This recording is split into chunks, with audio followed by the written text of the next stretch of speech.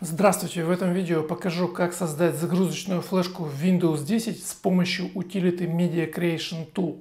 Этот способ достаточно простой и именно его рекомендует использовать Microsoft. Приступаем.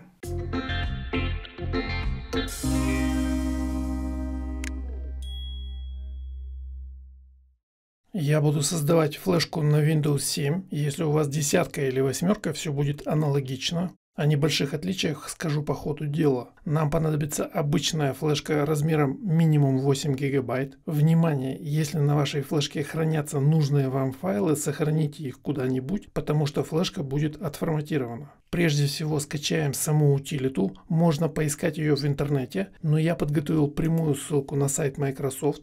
Под этим видео в полном описании. Ссылка номер один. Нажимаю на нее. После нажатия на ссылку должна открыться вот такая страница. Здесь мы видим вот такую кнопку «Скачать средства сейчас». Именно эта кнопка нам и нужна. Если у вас на компьютере установлена Windows 10, то у вас здесь будет вторая кнопка, вот такая. Вам нужно нажимать не на нее, а вот на эту кнопку «Скачать средства сейчас». Я нажимаю.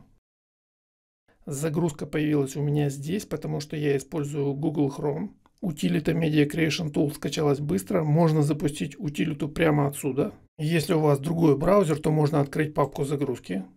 Скорее всего, именно туда у вас скачаются файлы из интернета.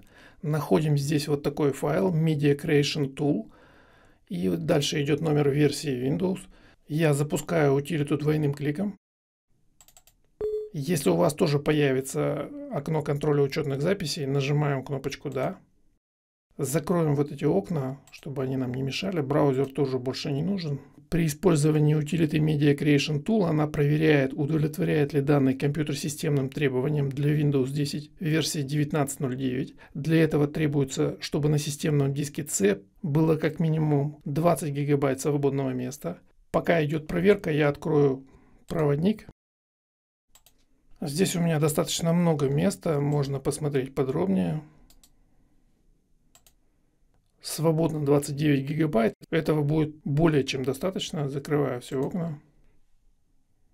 Утилита запустилась. Здесь необходимо принять лицензию. Нажимаю кнопочку «Принять». 20 гигабайт требуется для обновления до версии Windows x64. Для 32-разрядной десятки нужно чуть меньше 16 гигабайт свободного места. Я сказал для обновления, возникает вопрос, о каком обновлении идет речь. Мы же с вами просто загрузочную флешку создаем и будем с нее не обновляться, а делать чистую установку. Ответ простой. Раз уж мы используем утилиту Media Creation Tool для создания флешки, то она будет проверять, удовлетворяет ли компьютер этим системным требованиям. В следующем окне мы можем сделать выбор, обновить этот компьютер или создать установочный носитель.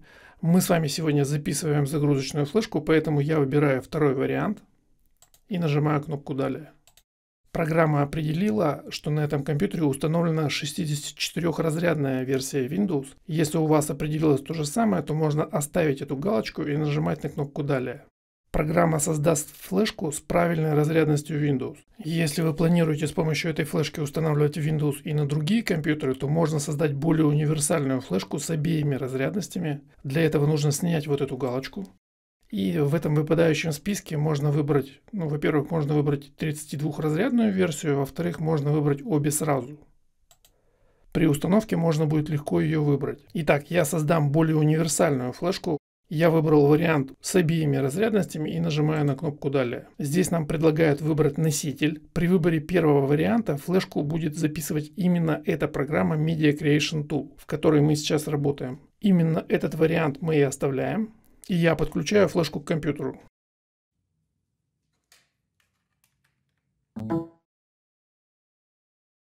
Я подключил флешку, у меня включен автозапуск, поэтому флешка открылась в проводнике. У меня вот такая метка на флешке. Запоминаем ее, закрываю окно. Здесь нам написали, что флешка должна быть минимум 8 гигабайт. Вначале мы уже говорили об этом. Ну и здесь стоит в последний раз предупредить о том, что нужно сохранить нужные файлы с флешки, если они там есть. Нажимаю далее.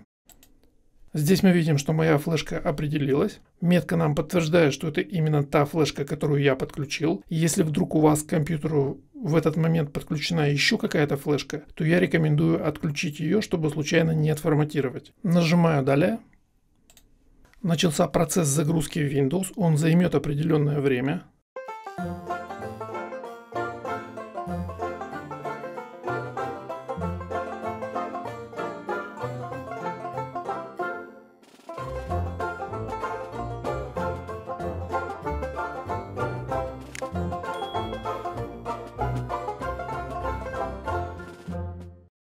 Загрузочная флешка для установки Windows 10 готова. Можно извлекать ее из компьютера и устанавливать систему.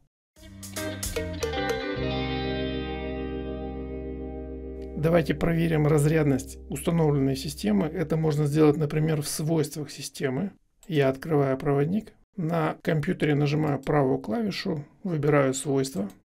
Здесь видно, что у меня установлена Windows 7 x64, 64-разрядная операционная система. Если у вас здесь вот такая надпись, то это говорит о том, что у вас установлена 32-разрядная версия, но ваше железо позволяет установить и 64-разрядную. Какую разрядность или битность выбрать? Скажу только, что сегодня 32-разрядную версию устанавливают только на совсем старые компьютеры. Во всех остальных случаях выбирайте версию x64. Подробнее о том, какую разрядность системы выбрать, можно почитать в текстовой инструкции, ссылка есть в описании видео.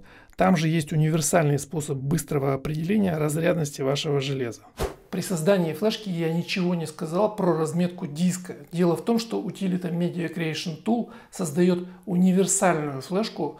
С помощью такой флешки можно установить Windows как на MBR, так и на GPT диск. В одном из следующих видео подробно разберем оба варианта установки. Если тема интересная, поддержите это видео своими лайками и комментами. Чтобы не пропустить эти новые видео, не забудьте подписаться на канал и включить колокольчик. Если это видео было вам полезно, ставьте лайки, делитесь видео с друзьями. Спасибо, я благодарю вас за просмотр, лайки, комментарии. Отдельная благодарность тем, кто поддерживает мой канал. Меня зовут Евгений Юртаев. До встречи.